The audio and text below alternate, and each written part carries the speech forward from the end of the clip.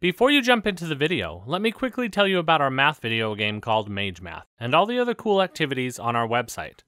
Mage Math is a full video game that will help your child become more confident in math and have fun at the same time. On the website, we have all our math videos, math worksheets, virtual math escape rooms, math mysteries, and more learning activities. You can find the game and all our amazing website content at magemath.com. There will be a link in the description as well. Hey guys, we are in our Math Expressions space station, and something happened. Something funny. Well, I don't know about funny, but we told the number one not to play with the buttons on the other side of the door. He must have touched something and is now locked out of the main compartment. Hey guys, come on, let me in. we told you not to touch anything in there, but you did not listen. Okay, guys, we are going to get him out while you take some time to learn about mathematical expressions. Reading and writing mathematics can be tricky, so it's important that we understand key phrases so we can interpret expressions correctly. Let's look at an example.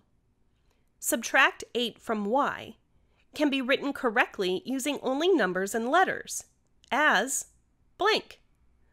When we subtract a number from y, we will write y first, then the subtraction symbol, followed by the number 8. In this example, y minus 8 is the correct expression to represent subtract 8 from y.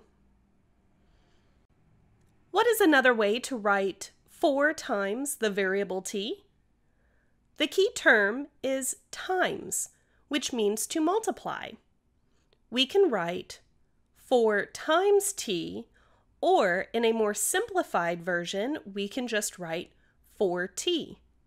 When a constant is next to a variable, the implied operation is multiplication.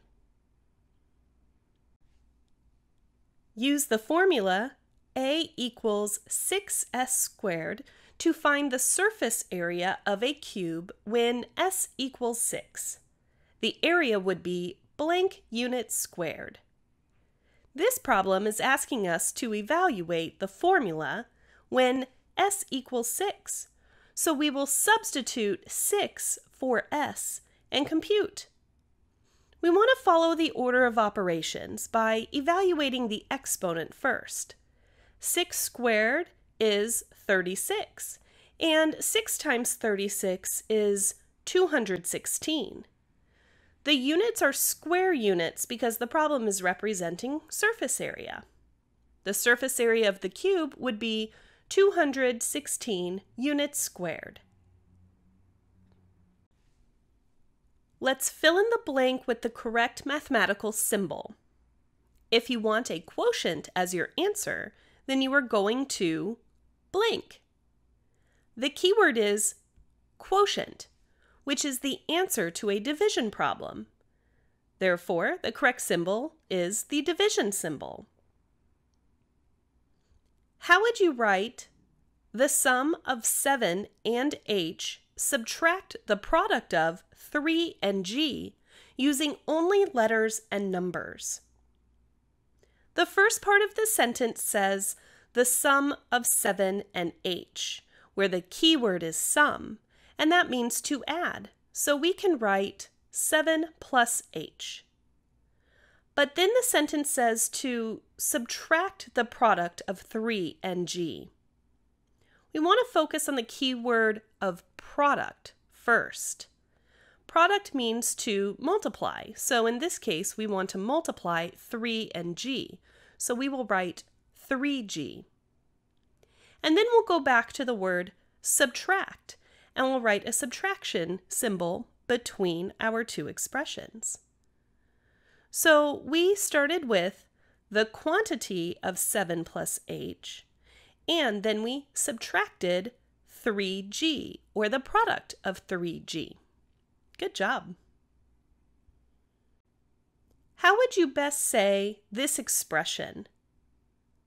Translating an expression into words is done so just by how we read the problem out loud. The first part of the expression is read as 7 divided by g. Then we have the second part of the expression, which is read as plus 3.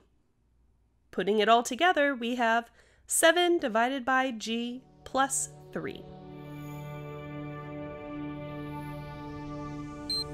Okay, we can now open the door, but hang on to something because the pressure might be strong enough to pull you out really fast, okay, number one? Please just let me out. I am so bored in here. Just open the door and let's see what happens.